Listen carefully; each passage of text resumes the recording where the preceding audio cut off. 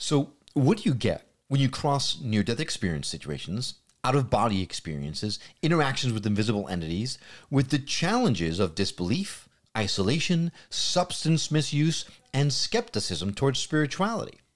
Well, of course, you get this week's guest. Now, today we dive into what exactly attaining enlightenment in today's world really means, how the ego can serve as both a barrier and a teacher, and even what roles trauma, suffering, and survival play, and how these difficult experiences can be catalysts for profound spiritual breakthroughs. This is a very full episode of the Skeptic Metaphysicians, and it starts now. My name is Will. And I'm Karen. And unlike Mulder and Scully, we both want to believe. So we've embarked on a journey of discovery. We've talked to people deeply entrenched in the spiritual and metaphysical world. We've thrown ourselves into weird and wonderful experiences. I even joined a coven of witches. And wait, you joined a coven? Yep, all in the interest of finding something. Anything. That will prove that there's something beyond this physical, three dimensional world we all live in. This is the, the Skeptic, Skeptic Metaphysicians. Metaphysicians.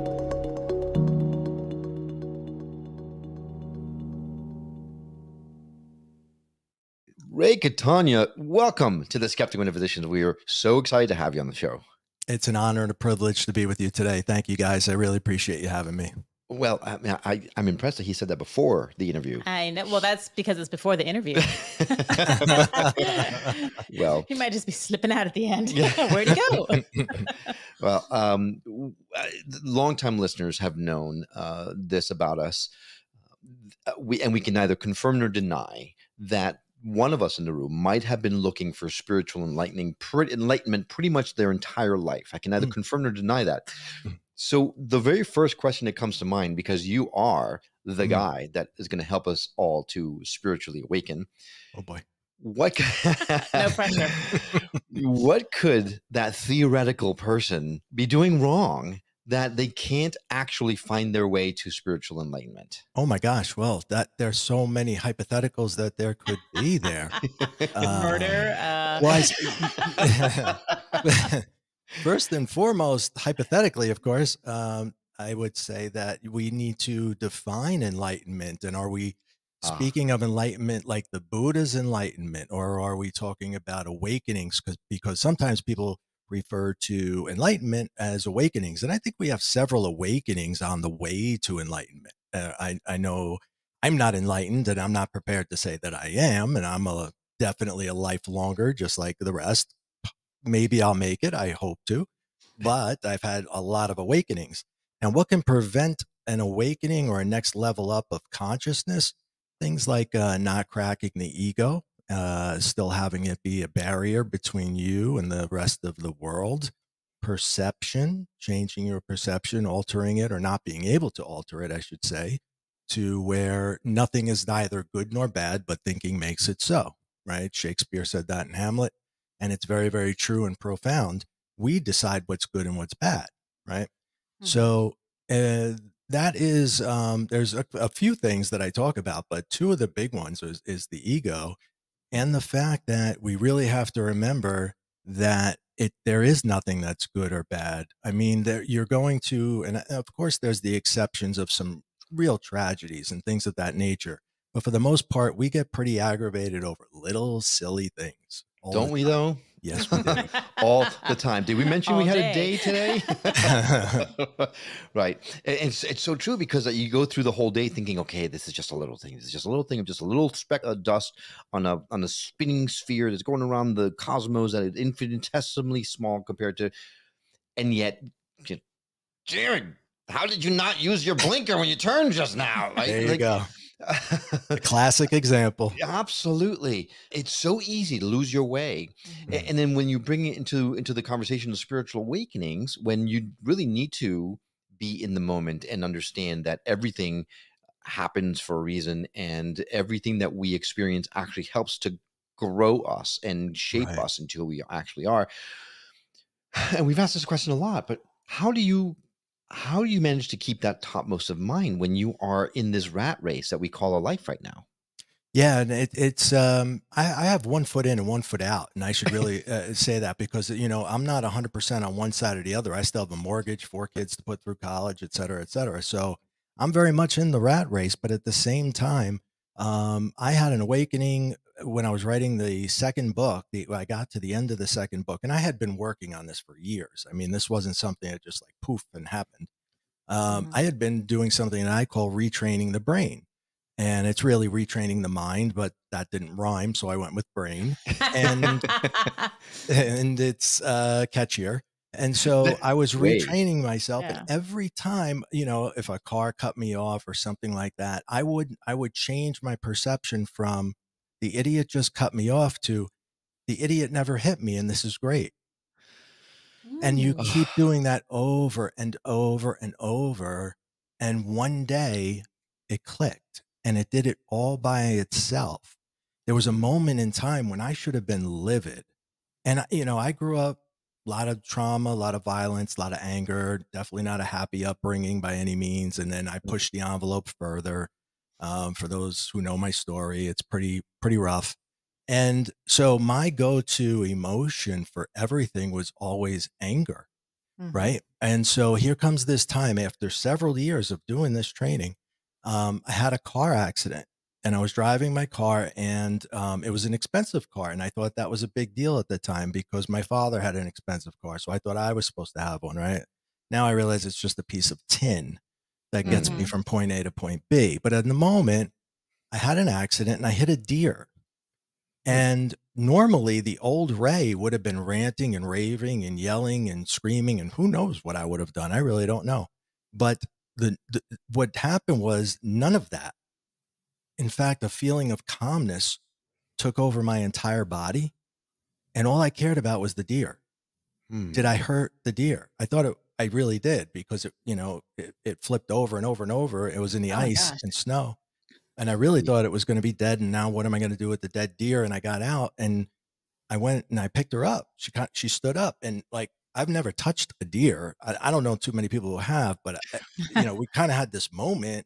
She looked at me. I looked at her. I was like, Hey, I'm sorry. She's like, I'm sorry too. And she walked off and I wasn't hurt and she's not hurt. My car's trashed, but that's just Mhm. the car. Right. It's just Yeah. a car. So I didn't have that reaction. And that was the first moment when I knew that I my life had completely changed.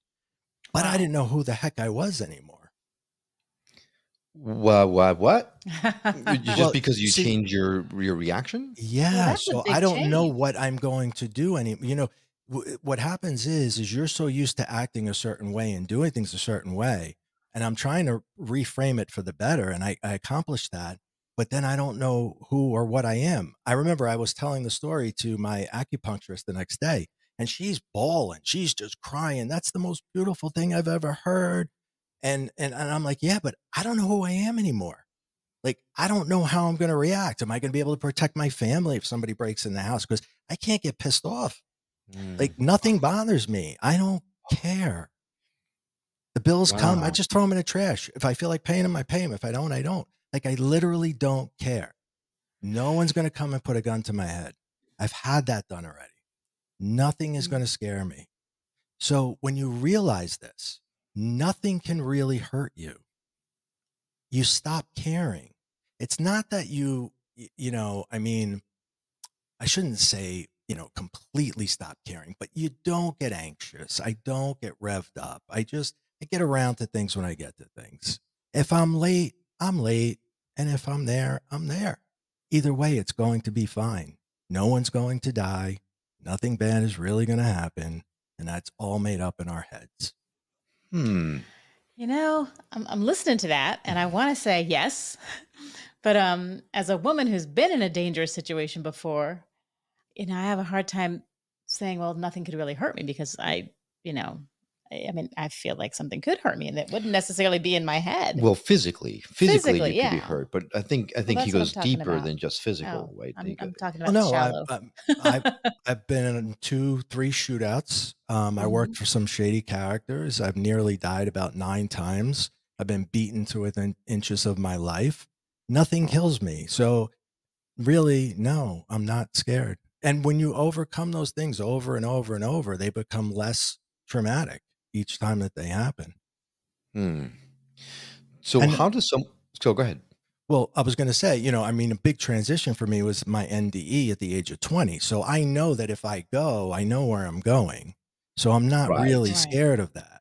That's a great point. Yeah, Something I'm I not wanted to talk scared of the after. I'm just scared of the how, like that it's gonna hurt. I mean, I know I won't remember it, but Well, oh, I'll give you a little good that's news. what bothers me. Okay, There's something about an NDE I'll share with you in a bit when we get there. Okay. Okay. Promise. So so then how about if if someone hasn't had their life beaten to an inch of their death and, and or been in uh, several shootouts and had an NDE, uh, how can we get ourselves to the point where we can get into an accident and just go, oh dear? Well, see, so we've all had trauma. And what we do is, uh, like the Buddha told us, if, if you look at the Buddha's life, he was a prince. He could have had anything given to him, delivered to him. His father was the king, right? So, and his father said, You can have anything you want, just never go beyond the walls of the compound. So, Mhm. what does he do? Goes beyond the walls of the compound. He's a of kid. right? course. Right. Right. So looks around and sees, wow, this is horrible out here. Uh, No wonder he doesn't want me out here. So goes back inside. Years goes by. He sneaks out a couple of more times. And what he realizes is people are suffering on the other side of the wall. And on this side of the wall, everybody's got it made.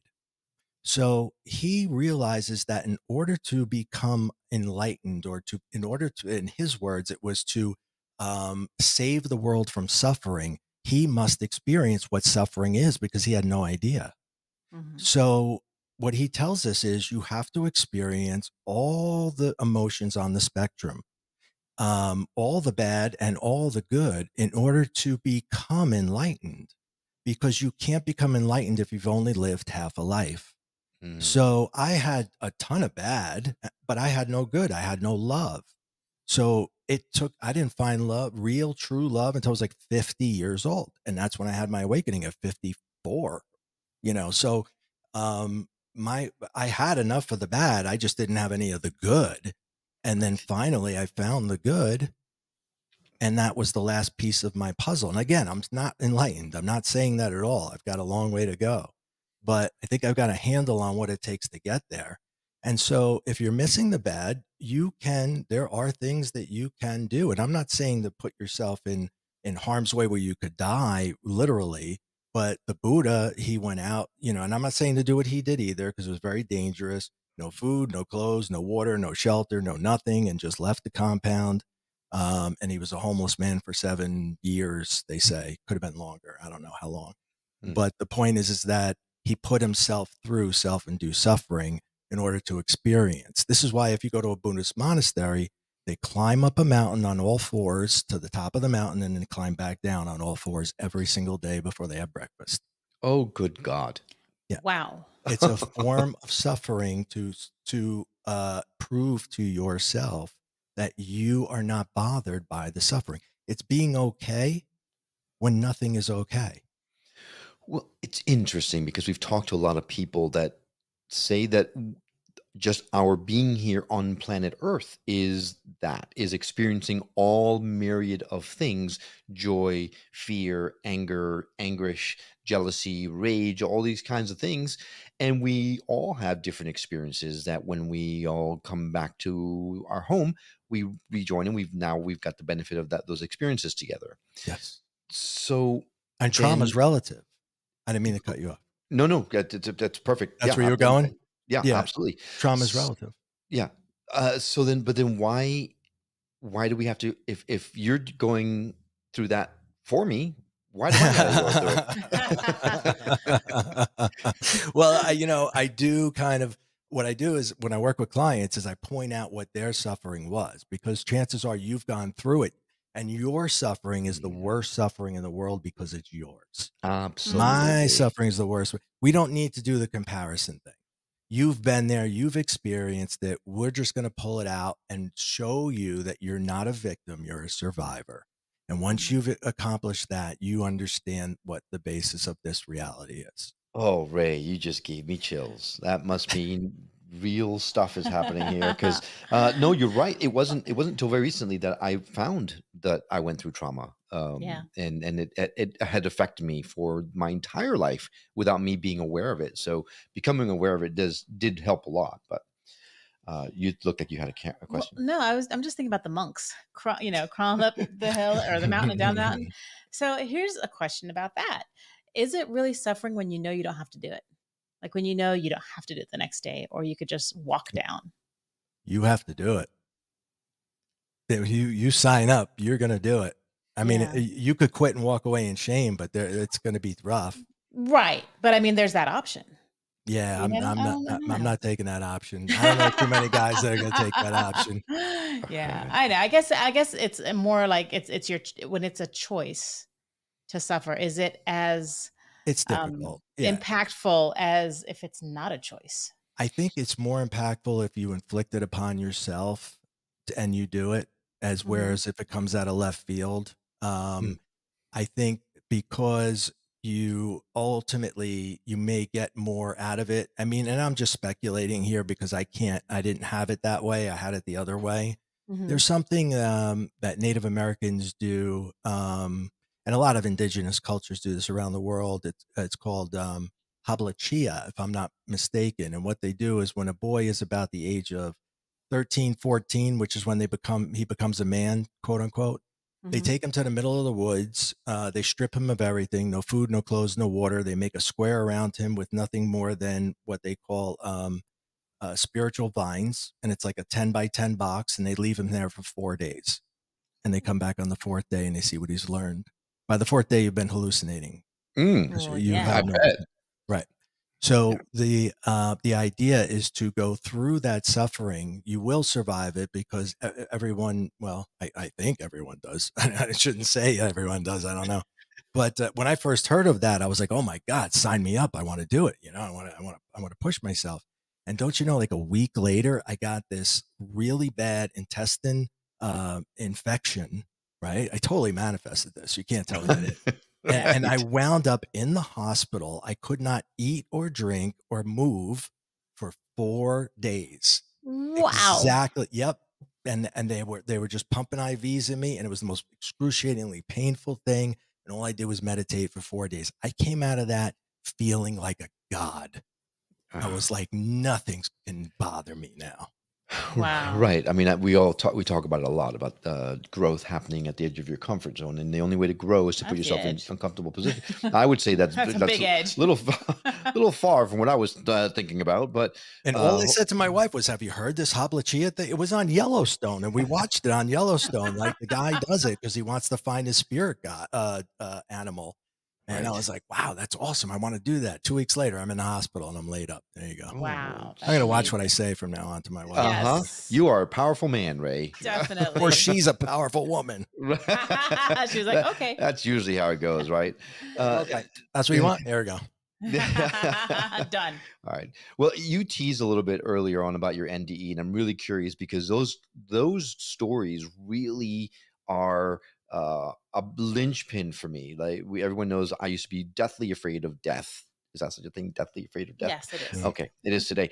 Uh, until like all these stories of NDs have helped me tremendously to get beyond that. But when we come back, we got to take a break. But when we come back, I want to dive into your NDE and everything that goes along with it because your story is remarkable, and I want that uh, make sure that we get a chance to share that. So stay with us. We'll be right back.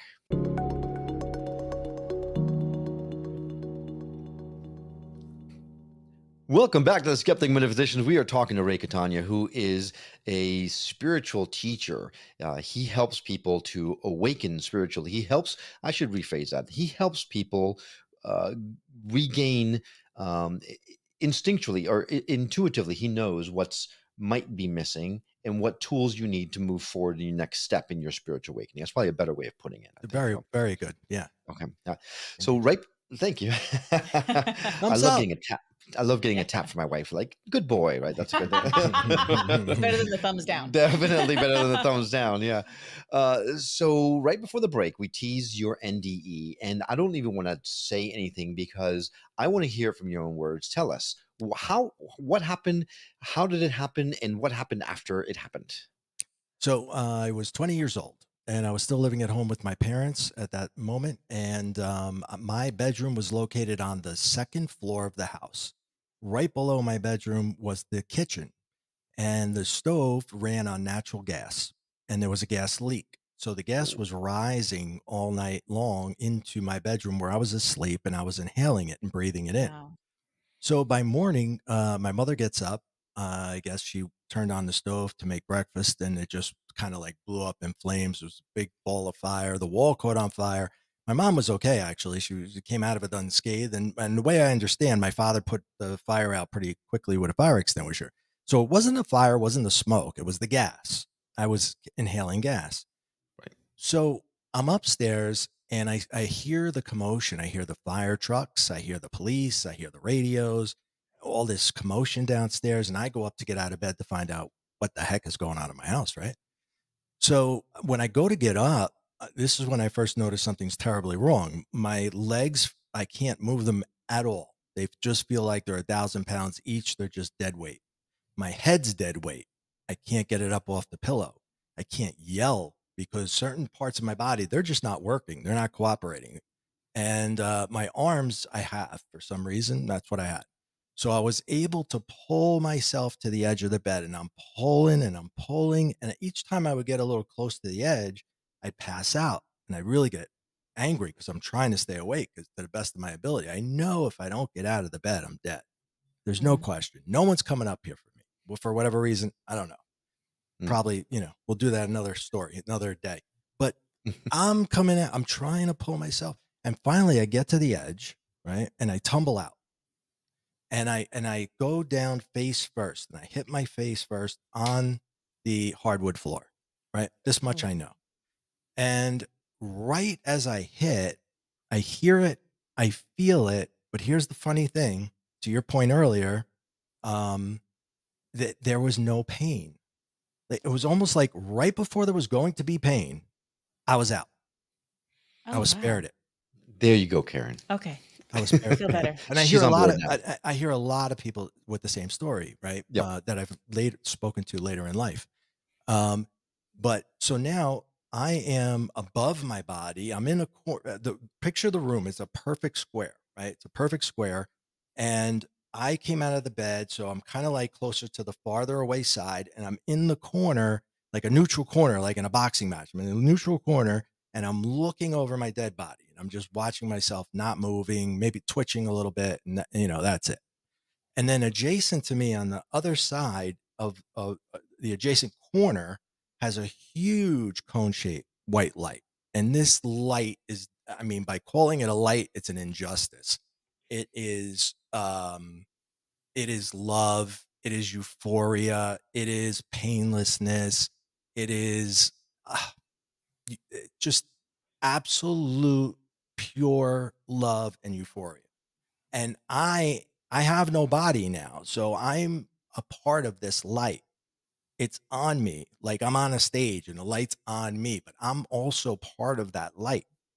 And i can go into it it's like a tunnel and i can go into it and i am going into it uh, because there's a being at the end of the light that says it's okay ray you can come in and i'm like wow he knows my name. I don't know i didn't know if it's a he or she or what Right. you know i'm not clear but uh, because you're not hearing anything it's a transmission of information you just get it right hmm so I'm going to call it a he for now. And he says, come into the light. It's safe to come into the light. And I don't trust anybody in the, this time of my life, but I trusted this being.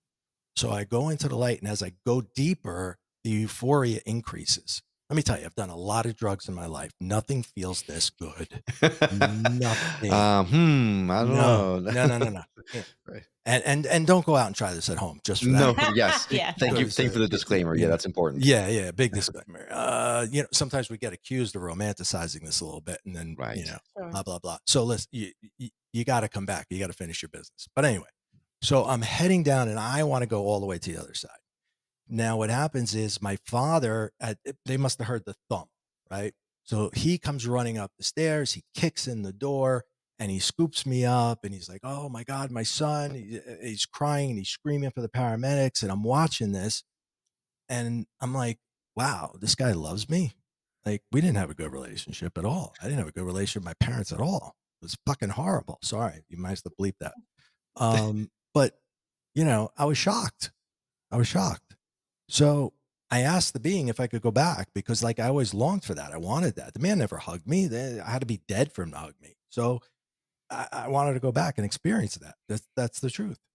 And uh, you know, he, I got, I was allowed to come back, and and I wasn't in his arms anymore. I was now when I woke up, I was on the living room floor and the paramedics are doing all kinds of things to me with their tools and gadgets and whatnot. And, and I'm like, I, the euphoria is still inside me. So I'm like, guys, guys, get off me. I feel great. I feel fantastic. Right. And they're like, son, you're anything but fantastic. So just lie there and let us do what we have to do. And they, and I hear them talking their lingo, like bring up the truck, bring up the truck. We got to get him going. We got to get him going. He's got no BP, no BP. And, uh, you know, I'm, I'm at the moment, I'm just like high out of my mind. It's like, I'm high on an NDE. It feels fantastic. Um, I'm like, did you guys, did you hear the voice? Did you see the light? It was awesome, wasn't it?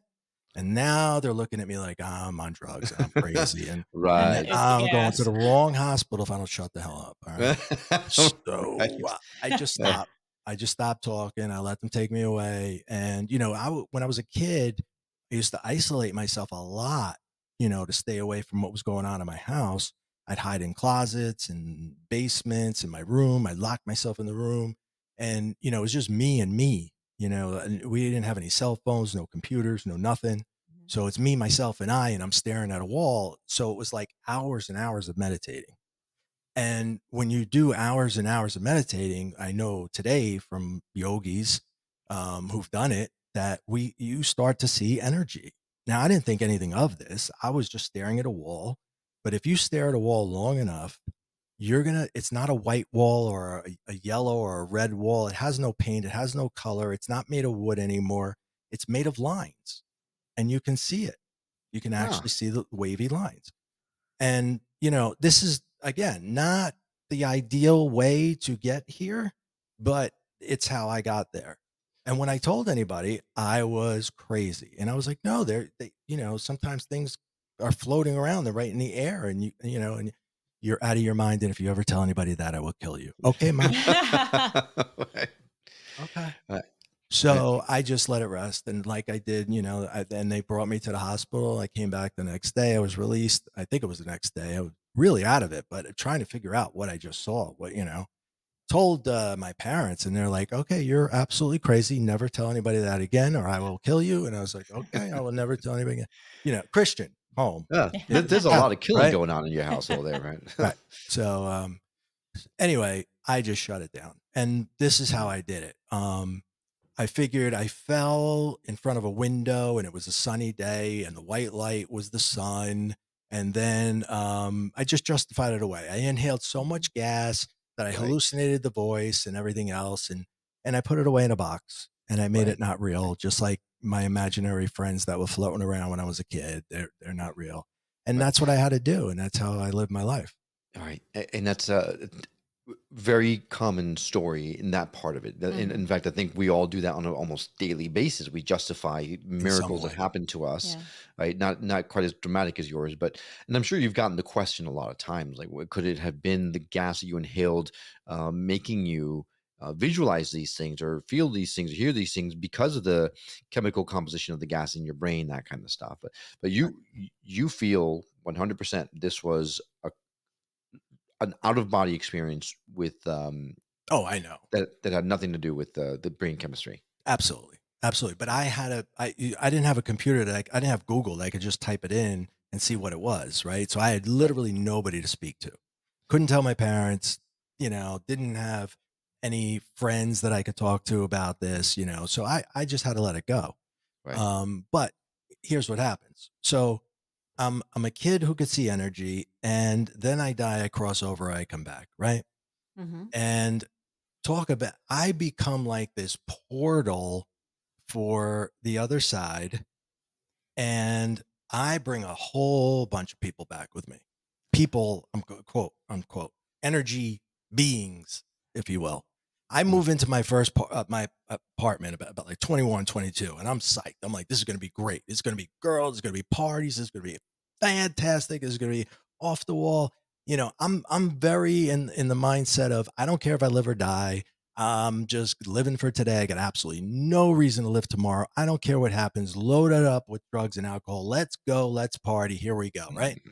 I get into this apartment None of that ever happens because the apartment is already filled with people and I didn't invite anybody over yet.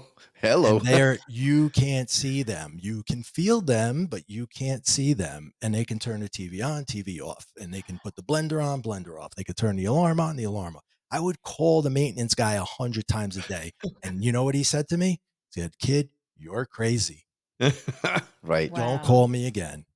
Again, I'm crazy. So I just I'm thinking, okay, I'm losing my mind, and and I'm I'll just live it out. And I'm losing my mind, and everything that I've been seeing since I was young, I'm crazy, and I buy into that. And then I start drinking and using massive amounts of drugs because I can't go to sleep and I can't stop seeing these things because they're all around. Mm. And um, so uh, finally, uh, I had the worst case of insomnia, and and I, and I was just you know taking everything to fall asleep. That was the objective, really, was to sleep because I couldn't sleep. And I moved into the next apartment. I left that one. I went into another one, and I got there, and I thought it was going to be a fresh start. Here we go, parties. yeah, None, no. As soon as I got there, they're all there again, and it, Ah. the house isn't haunted. Ray's haunted. They're coming with me wherever I go but I don't believe you exact. I literally yell at them. I don't think you're real. I'm an atheist. I don't believe in any of you guys. Go away. You know, I completely rebelled against my my family's uh, religion. I hated it. I was like, absolutely no way could there possibly be some kind of loving God that's going to allow this stuff to happen to me. I'm a kid. I did nothing to no one. So that was my take on life. You know, Right. there, there's no after, just everything goes black. The end, like the last episode of Sopranos. That's that, Let's not. That's a touchy subject. which I really like. I, I, I enjoyed it. I, I know no one else did, Right. but I might have understood it a little bit. Yeah. So it, it, it just um you know so i lived the next 10 years of my life in putting myself i would up the ante and up the ante and put myself in worse situations and with worse and worse people and just you know d- didn't care just Hmm. literally did not care and this was after your NDE. Yeah.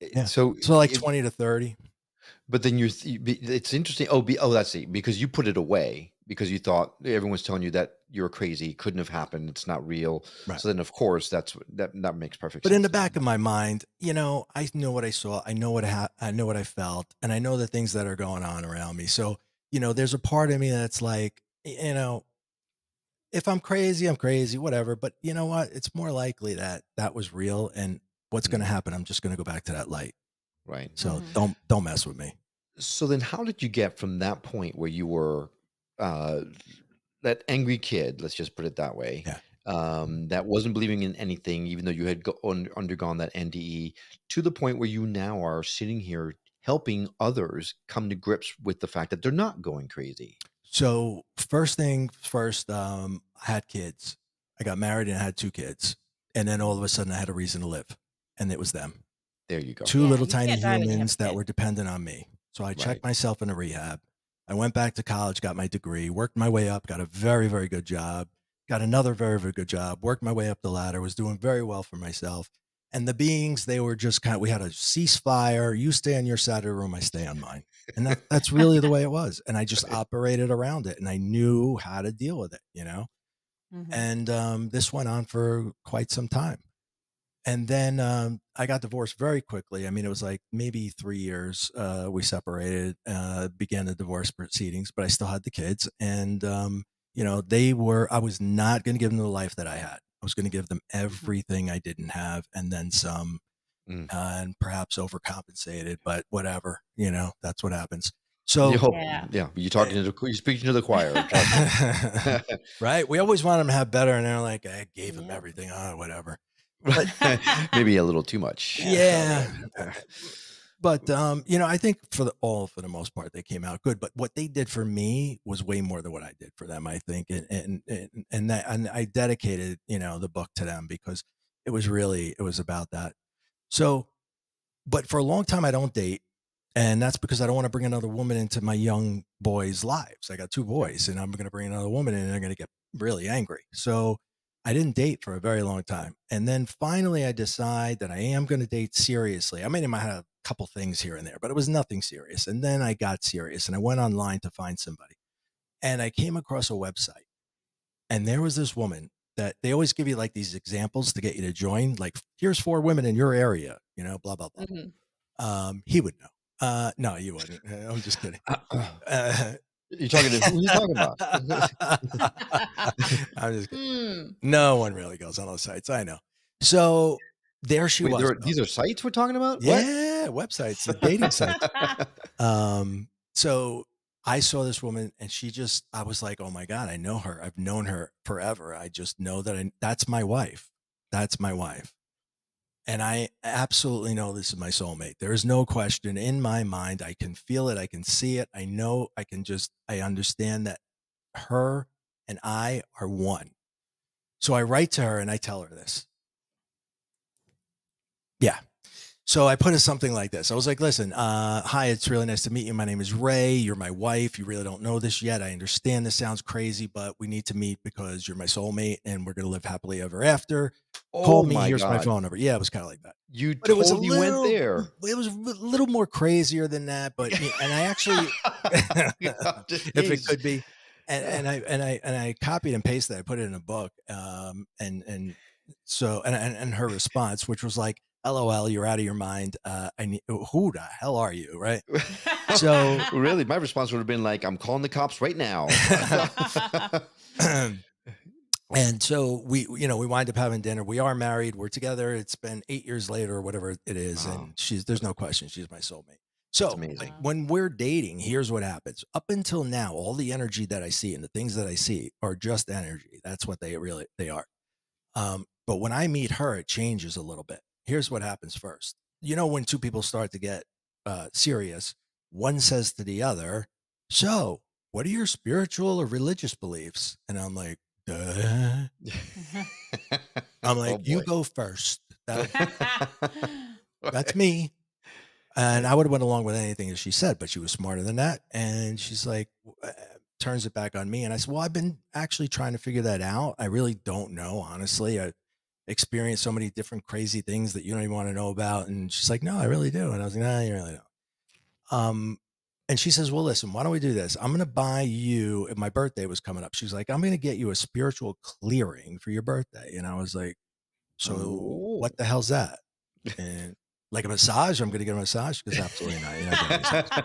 so wait, you knew about soulmates, but not spiritual clearings? What the heck, Ray? Uh, well, well, I didn't, I didn't know enough to call her that at the time. but yeah. Oh, okay. yeah i'm i'm uh i'm still ignorant and um so i said we're gonna have cake right? Eh, and she's like yeah we'll have cake we'll have cake. And I, so i was like so what do i gotta do? And she says absolutely nothing. The lady's gonna call you you're gonna be at work probably and she's gonna call you and tell you she's gonna start. I said i don't even have to be there. She's like no. Distant distant clear all right. Mhm. so she calls me she's very nice i don't believe a word of what she's saying she's telling me she's gonna do something to my chakras i'm like chakras? Hmm. And I'm like, "Does that? my wife know you're gonna touch my chakra? You messing with my chakras? um, Oh, uh, no, I was very polite. I was very nice, but I didn't believe a word that she was saying. And I was like, okay, that's great. She goes, if you feel a little off afterwards, you know, just call me back and let me know. And I was like, all right, that's cool. So she calls me back when she's done. She's like, all right, so I completed everything. And here's what I saw. You had this, you had this, you had this, you had this, you had this, you had this, you had this. I was like, wow, that's a lot of this. Mhm. And, and she's like, yeah, it kind of is. But I broke it up for you, and this is what's going to happen. So you really might feel off. Don't make any life changing decisions and don't have any uh, important appointments lately. And I said, okay. Um, and I respected what she said. And then it was maybe within an hour later, I got up from my desk and I went to go to the bathroom and um, I was like stumbling. I was like so wobbly. I felt like I had a drink and I was sober over a decade at that point. And I was just, my equilibrium was way off. And I started to feel the pressure like it was when I moved into that apartment again. And this did not feel good at all. I started to get a headache. I went home. I called it a day. It was a Friday. And later that evening, I'm laying down and I'm kind of just flip, flipping through channels. And I see for the first time an energy being in the shape of a man. Now, I'm not seeing this with my eyes, okay? This is in here. It's my third eye. It's like a Okay. movie screen that opens up in my head, and there's a man on the screen, and he's talking to me. and he says he's a big husky guy. He's got a beard and mustache, thick black hair, and he says, "I effed up. I made a mistake. You can help her. I cannot." And I'm just like, "What was that?" and I just wait a little while, and then there he was again, and he said the same thing. And I was trying to watch the show, right? But every time I would kind of just start to nod off, he would come back. And so I was like, this is really not cool. I don't know what's happening to me. I, so I, I finally fall asleep. I wake up the next morning and I'm like, I don't know what that was last night. That was really weird, but it starts up right at breakfast. I mean, it just, there he is again. The same eight second video loop. I'm watching it over and over again. And Saturday, it feels like it's every hour on the hour. Now, going into Sunday, it feels like it's every five minutes. I can't drive. I can't have a conversation. Wow. I'm shaking. I'm trembling. I can't take it anymore. And and and I was in uh, a store and I was paying for my stuff, and the lady behind the counter goes, "Sir, are you okay?" And I said, "No." I don't know what I did.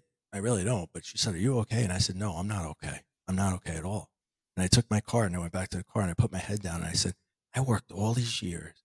I I I, I beat drugs. I beat alcohol. I, I became something of myself. I raised two kids and now I'm out of my mind. I'm insane.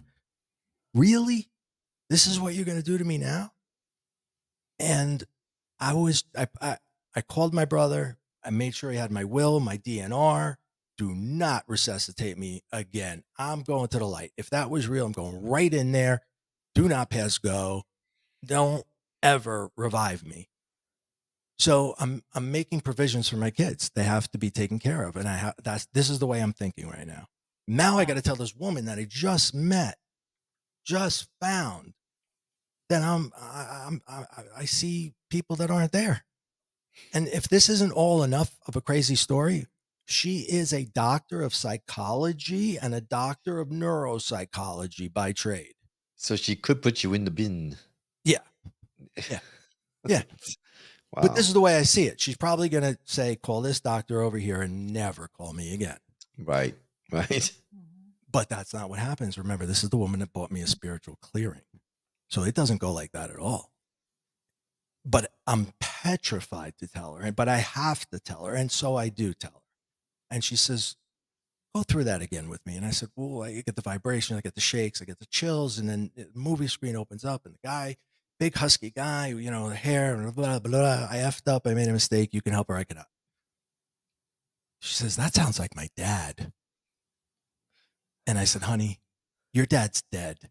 And now I'm thinking she's crazy. I'm getting help. Check, please. right. Okay. Right. You're a doctor, huh?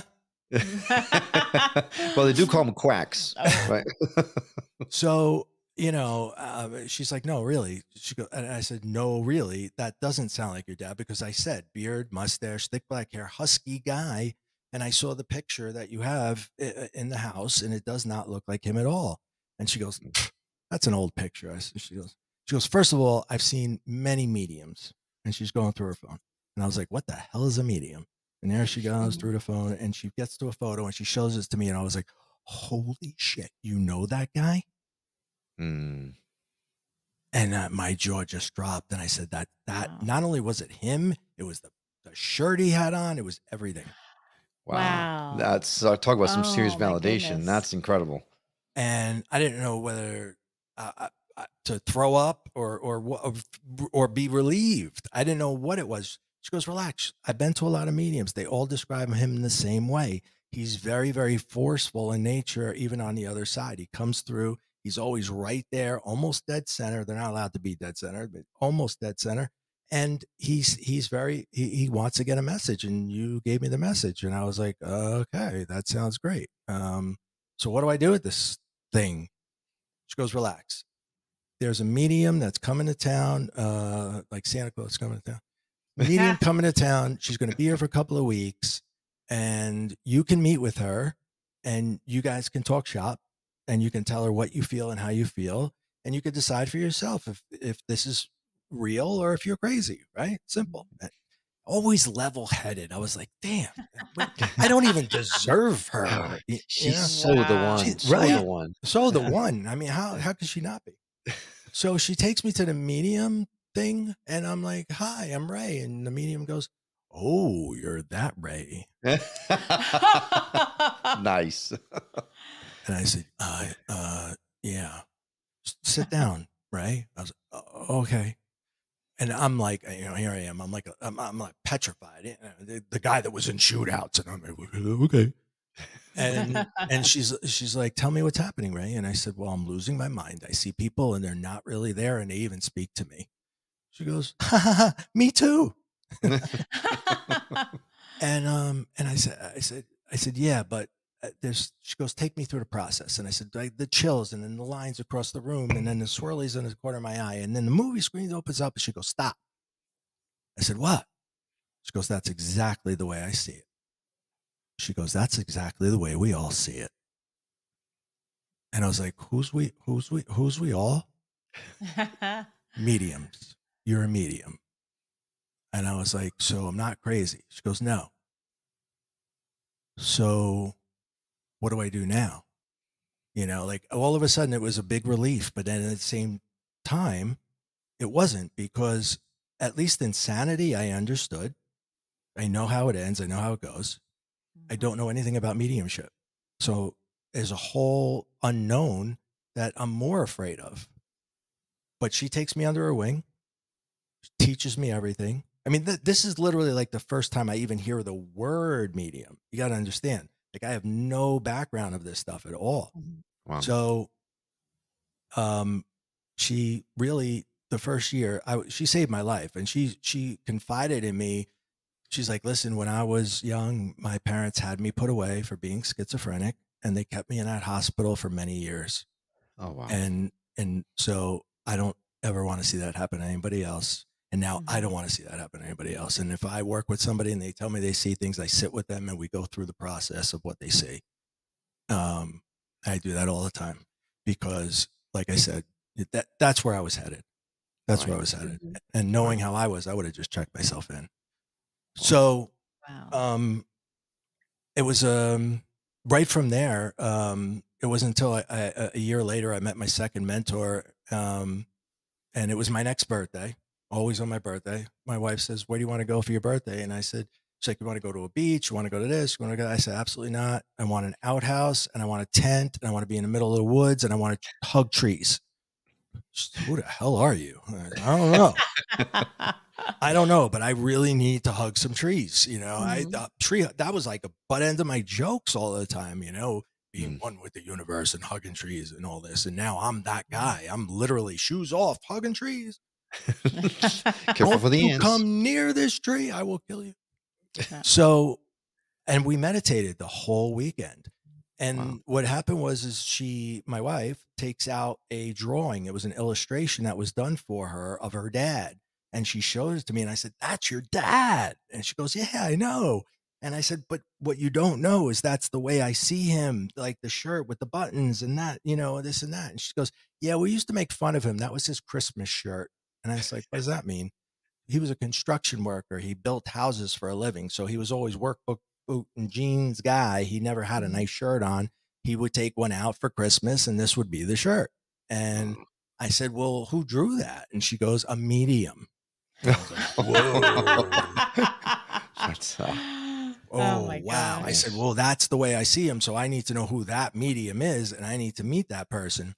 And so we looked him up online and it said right on his website, big letters, now taking applications for a two year mentorship program with Medium Joe. Your application must be submitted by February 15th. That's my birthday. February 15th. No way. Wow. oh my gosh. You had no choice. Right. She goes, You're going to do it? I said, So. I'm filling out the application right then and there, and I'm sending it in because I don't want to miss the date. Then the first application, you know, it's like 10 questions, it's nothing. Then they send you like a booklet that's like this, and you, eh, they're all essay questions. And how does this happen? How does that happen? What do you see first? What do you see second? What do you hear? What do you do? What happens here? What happens? And it's like just going through everything because if you can't prove you're real, you're not getting it. Mm. And let me tell you how difficult it was. So even I sent that back. Then I had an interview. Then they sent me another questionnaire. I had another interview, and then I heard nothing. So I was like, mm. I, I didn't get this. I'm not. I'm not real. I'm all the way back to I'm not real. I'm back. Maybe I'm crazy. Maybe I made this all up in my head. You know, and and, and I'm all the way back to square one. But I wanted to make that phone call and just confirm it. So I called his assistant and I said, I just wanted to confirm, you know, that I didn't get the uh, mentorship program and that she cut me off. She goes, Oh, no, no, no, no, no, no. We didn't make any decisions yet.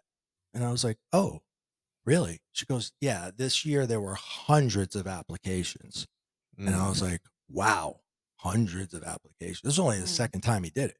And mm-hmm. he, and, and this uh, mentorship cost several thousand dollars because it's a real mentorship. Like you can call him day or night, seven days a week, whatever you need, he's there. And mm-hmm. so it's a uh, you do the math, mm-hmm. thousands of dollars times hundreds of people, windfall, windfall, windfall, right? Mm. Right. This is the integrity of this man. If he could not prove to himself that you were legit, you could not get in. I did get in, and I was number 11 of 11. Oh, wow. I don't think I could have done that. That's how uh, when I knew that man, I'm never leaving a guy like that. You're nice. my daddy. you want to be or not. And it, oh. uh, it, it was a two year program. I think I'm in my fifth year, and I'm just the guy who never leaves, never graduates. I don't want to graduate. I, am just here because he's here, and that's it. And uh, yeah, so um, wow. But he taught us. He taught me everything I mean, he not just mediumship, but like spirituality and how to manifest and how manifesting works. And then he started to really trigger my my curiosity. So I went back mm-hmm. to college for metaphysics. I got a master's, uh, a bachelor's and a master's. I'm an ordained minister with the IMM, International Metaphysical Ministry. And then um, I'm doing my doctorate right now, and I've read every book under the sun from Eckhart Tolle to Joe Dispenza to um, Deepak. And then on the other side, I love science. So I read Einstein, I read Tesla, I read Niels Bohr. You name a physicist, I've read him and I've studied his work. And right. then what happened was is I started taking these spiritual concepts and I matched them to the physical laws of reality and I started to put it together. That is the entire second book. It's some of the first book, but it's mostly the second book. You've got a a, a, um, a spiritual concept, and then I explain to you how it works from a physical perspective. Because I was the biggest skeptic. Oh, I was a 40 something year skeptic, right? I've been seeing are, this since I was five. You are speaking my language right now. So, you are so exactly. so you'll buy my book? I do. I'm actually. I'm, I'm. Wait, hang on. I'm getting my phone. I'm ordering it right now. but but since, since we're on a topic, let, us let's, let's dive into it uh, because we're we, we've gone way longer than I thought we would. But this is such it's such a fascinating conversation give us the names of your books because we're going to add those links to our, our, show notes but i want to make sure i've got them right. Okay so the first book is the atheist in the afterlife and that is the story of me going from atheism to being a believer. It basically ends before i meet my second mentor. And when I, the second book is called you're still alive now act like it. And I love that title. that is a book that really gets into the concepts of there's a lot of stories in there too, but there's also um, concepts of, um, say, like uh, the law of attraction, which is really popular right now. So I break it down. First of all, I tell you how I use the law of attraction in my own life. And that story is, you know, pretty crazy to begin with. And then I, I explain to you how it works physically from a physical perspective. And then I tell you how to do it on your own. So every chapter will have a story about my crazy life. Then it has the spiritual principle, and then it tells you how to break it down physically. And you can look up all the physical laws that I put in there because I did and studied them over and over and over. And it just makes perfect sense. Mm. Uh, I'm definitely, excuse me. I'm I'm definitely without a doubt getting your book because that does sound exactly like right up my alley. Um, and if I, you write the way you speak, I think that would just be like a quick. Oh, it's way, it's way. wor- Get ready for a lot of four-letter words. I'm going to warn you in advance. okay, um, All right. Italian from Jersey, so Mm. f you. Perfect. You know, that's just a regular word. That's not a, really a thing around Right. here. In our household, it's like salt, so we're good. It's good There you go. oh, right, that's amazing. yeah. Uh, you, you had a question.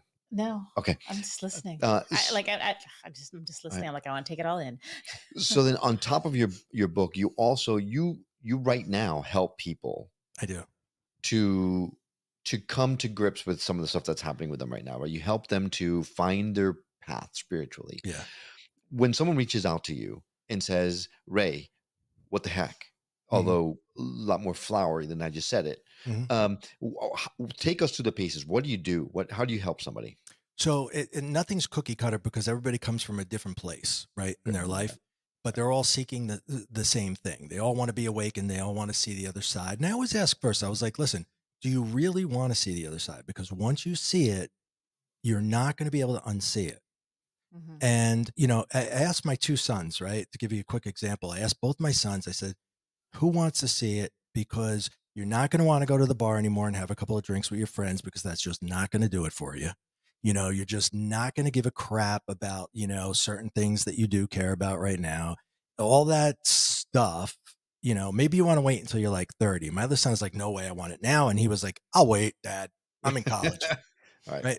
So everybody that comes in is very very different as to where they are and um I, first thing we do is we set like a baseline and we figure out where they are and then we figure out where they want to be and then I, I take them through the process but i always am very respectful. I ask them do you want to know this? Do you want to know that? Because it, does change you right? It's going to literally change the way you react it's going to change the way you do things it's going to change the way um, you are with other people in a hundred percent. I mean it's going to be for the better but not everybody wants everything to be for the better right? Or they don't see it as being better um, because you know uh, one of the questions I get is how do I keep my drive and my ambition and uh, trying to acquire my goals? And at the same time um, I'm I'm this spiritual lackadaisical person and I said it's very simple. I said I don't go out and get things they come to me.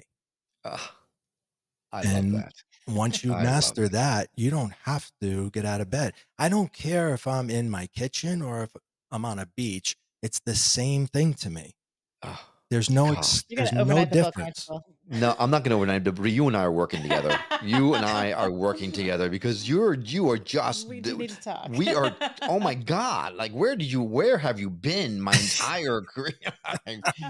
I get that a lot actually. dude i bet you do yeah uh no we're definitely going to talk because this just sounds amazing. So uh, we've gone way way over time which is not um unusual but but this has been unusual in as much that we have just been like little kids listening to you talk because your story is incredible and the way you tell it is so wonderful. So, Thank if you. someone wanted to reach out to you and work with you one on one, or uh, well, we're going to add your your your books to our show notes so people can access them. But someone Yeah. wanted to reach out to you, what's the best way to get a hold of you? raycatania.com and uh, or limitlesspublications.com. Either one.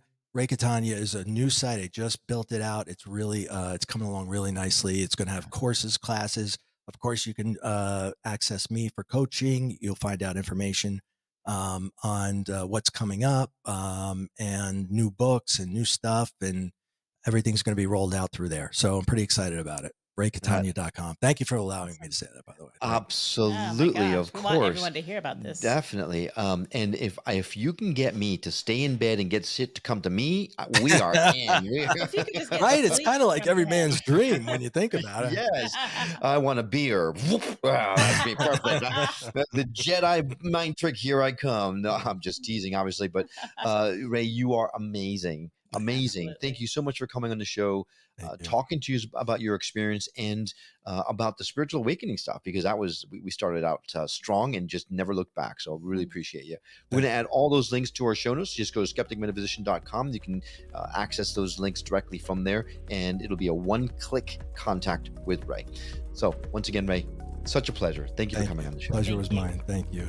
And a huge thank you to you. If you know someone who would benefit from hearing the message we're sharing on the show, do them and us a favor and share the show with them. It will help get the word out about us, and it might just change someone's life for the better. Well, that's all for now, we'll see you on the next episode of The Skeptic Metaphysician. Until then, take care.